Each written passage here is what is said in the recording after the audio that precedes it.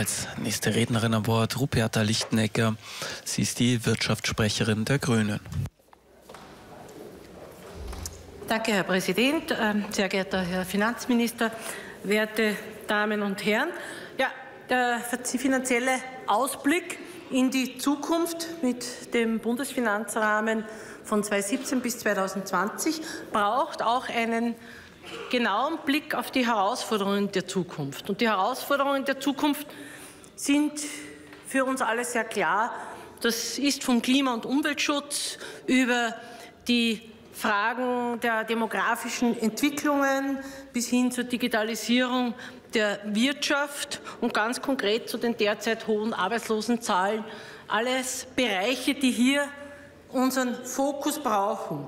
Und genau diese Herausforderungen brauchen Lösungen. Und um zu diesen Lösungen zu kommen, brauchen wir Bildung, wir brauchen Forschung, wir brauchen Innovation.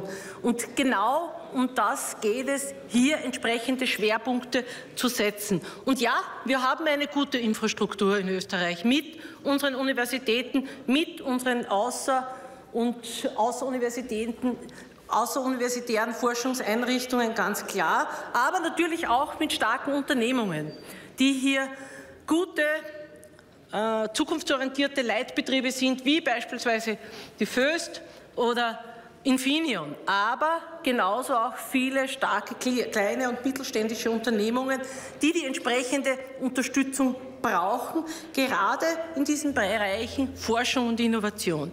Und da heute schon Rankings angeführt wurden, möchte ich eines anführen und das ist, ist der Innovation Union Scoreboard.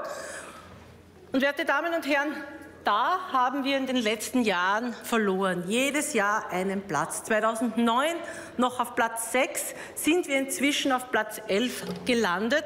Und das sollte uns selbstverständlich sehr stark zu denken geben, denn es gibt einen klaren Beschluss der Bundesregierung, nämlich zu den Innovation Leadern vorzustoßen, und das war im Jahr 2011. Und was ist passiert? Jedes Jahr ein Platz verloren gegangen und das hängt natürlich auch mit der Ausstattung zusammen. Und ja, wenn die Bundesregierung das Ziel beschlossen hat, 2020 eine Forschungsquote von 3,76 Prozent zu erreichen, ist ganz klar, dass da hier enorme Summen fehlen, um das tatsächlich zu erreichen. Und nachdem heute schon ausgeführt wurde, wie viel denn Österreich sehr wohl in Forschung investiert, sei angemerkt, dass die Innovation Leader wie Schweden, Dänemark sehr wohl viel mehr investieren, auch forschungsquotentechnisch, und hier es natürlich auch einen Auftrag an die öffentliche Hand gibt, entsprechende äh, Initiativen zu setzen.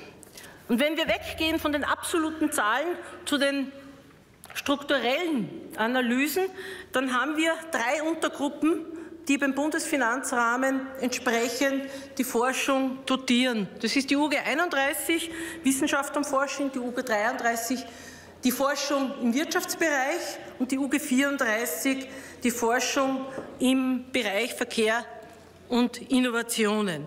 Und alleine zwei dieser Bereiche, nämlich die UG 33 und 34, werden über die Jahre 2017 bis 2020 tatsächlich konstant dotiert. Wenn Sie die Inflationsrate betrachten, ist das de facto ein Minus.